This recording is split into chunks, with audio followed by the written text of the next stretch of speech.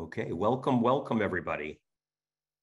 Um, hi, I'm Dazza Greenwood uh, from MIT Media Lab and also executive director of law.mit.edu, which is the convener of today's workshop, the eighth annual MIT Computational Law Workshop. I just want to start by saying, having done these things since actually the late 90s at MIT on this topic of law and technology, I honestly believe this is the best program yet. And that's owed largely because of a breakthrough with widely accessible generative artificial intelligence and its applications for law and its impact on law and legal processes. Um, how could generative AI tools like ChatGPT be used in a legal context? You could use this type of tool for a contract. Well, wait a second, what kind of contract? A first draft of a contract. Let's just start with a warning. That standard should probably be in parentheses, but it does not go without saying, and I think it does not go without emphasizing that this class of technology is not perfect. Um, in fact, it's deeply flawed in some ways. Uh, it provides um, inaccurate and false information, uh, and that has a risk of relying on it uh, too much and just using the first draft as the last draft, for example.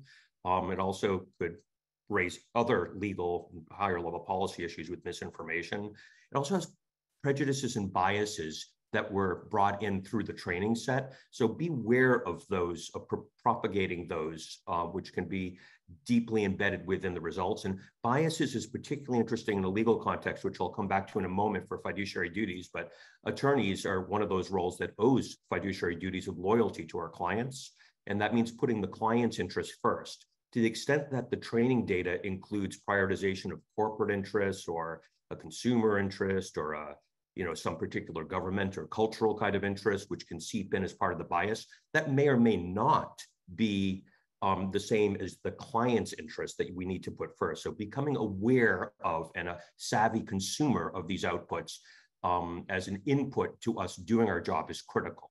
Okay standard oh and the last thing i would just say on this is um, something that um, I'll put it right in the chat here because these are really words to to live by. Um, this is a quote from Sam Altman, um, who is the um, the head of OpenAI that provides ChatGPT. ChatGPT is incredibly limited, but good enough at some things to create a misleading impression of greatness. It's a mistake to be relying on it for anything important for now.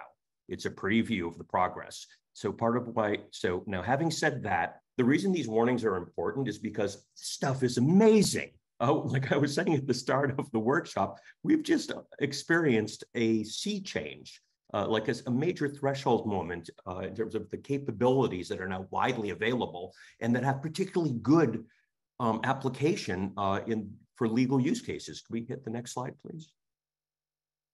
Um, what kind of applications? I mentioned contracts, only the first draft.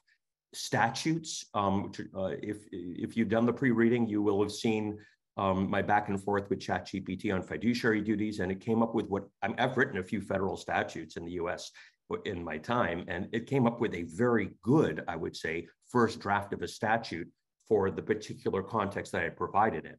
A complaint uh, in a judicial context, deposition questions, a brief, basically anything for a first draft, but it's not just drafts of documents. And as lawyers, we're very frequently document paradigm oriented. There's also processes. And I think that the biggest wins might be with legal processes. So for example, um, legal triage is something that Suffolk University Law School has been doing, where people can, can individuals can speak in plain language um, and the um, AI can figure out what the relevant context is, can surface the legal issues, and then get people to the right person to help them um, consumer rights. We're going to hear from Joshua Browder um, at the end of the session. He's doing remarkable things with interactive, live, real-time um, um, usage of this technology integrated into things like chat bots by companies. But, the, but his tool is representing the consumer interests, getting into a bot versus bot context there, and so much more. Um, next slide, please one of the really interesting things here that and something that megan and i have been working on a, a, lot and you'll hear more about it in 2023 is the late, what you might call the latent knowledge or the capability overhang uh, that happens when you take all of this text and all these uh, corp, more than one corpus is a corpora um, of uh, from all across humanity, and you put it and you vectorize basically the words and the phrases and the concepts, um, like in linear algebra. Interesting patterns emerge that were heretofore unknown, and that could is a new source of knowledge, um, and it can be used very productively um, in lots of uh, commercial and academic and, and governmental and other use cases. There's so many possibilities. Uh, um, we, we've got some great speakers, so I'm just going to skip across this for now and let, us go to the next slide. There's a lot on that last slide, though, to, we'll come back to later this year. So legal engineering, meet prompt engineering. You know we love legal engineering at law.mit.edu. Um, and you can look at our media page to find um, some deep dives into what we think legal engineering is and why we think it's so important. Um, prompt engineering is a phrase you may have heard. Um, Megan just went into some of the details of it. We think that there's a subset of prompt engineering that is particularly useful in a legal context. And, um, and, and when we when we talk when i talk about a legal context that really gets us back to a concept which also resonates in law from evidence which is relevance um, and so one of the critical things to get great results from a prompt in a legal context is to design the prompt so that it provides the relevant context. Um, so by way of an example, and actually, do you mind if I screen share for a quick second, Ryan? Uh, Brian?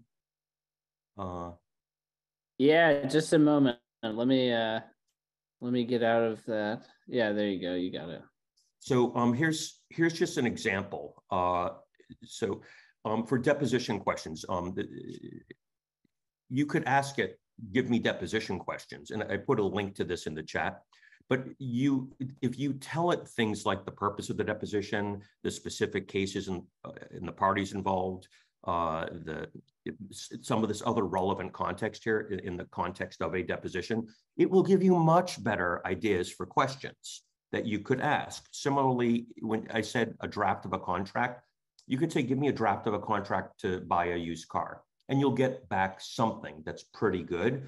But if you were to ask it, um, I want a draft of a contract for a used car by individuals in the state of California and include the make and model, the, the purchase price, the, any warranties, et cetera, et cetera, include this simple plain language in the prompt, then you will have composed the prompt in, in a certain sense, legally engineered it to make sure that that relevant context is supported and reflected in the draft that you get. And that'll make that draft all the more valuable.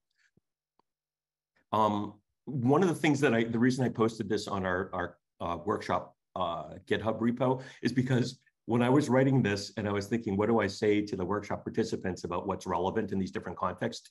One of the things I did, which is a, a new go-to for me since uh, a month and a half, is I went to ChatGPT to ask it, what context would you need in a prompt in order to get the best contract? These were actually answers that I got from ChatGPT saying the context for, for these different things. And I'll tell you what, it was better than my draft. Like these are all twice as long as the examples that I had provided, and they're, they're all quite good.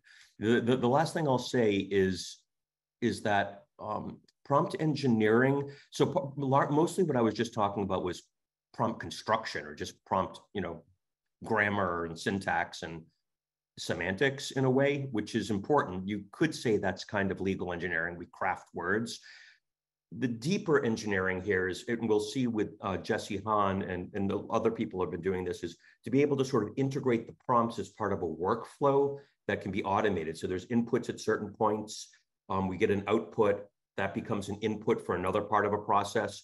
We can actually engineer generative AI at certain points in a, in a sequence of a workflow. That's even deeper concept of prompt engineering. And then the deepest is something I've, I've been calling prompt plumbing, which is at, a much lower um, layer of the infrastructure. You can use uh, approaches like LangChain, um, which does some really um, interesting. It kind of takes summaries of the big blocks of text, vectorizes it, and carries the context forward. You can do things with much greater um, amounts of information than the, than the, what happens just through an interface like ChatGPT, where you run out of tokens. We'll get much more into all that later in the year.